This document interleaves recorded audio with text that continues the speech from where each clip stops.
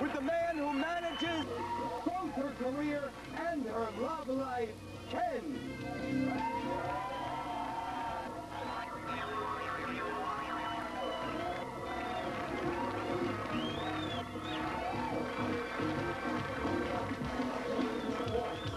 Deena, Deena, Deena, before you mic, before you mic yourself there, because I don't want you to, I don't want you to flip that on, because underneath that is a 90-inch chest. We've seen it before, Richard. Can we see it again? Sure. Let's see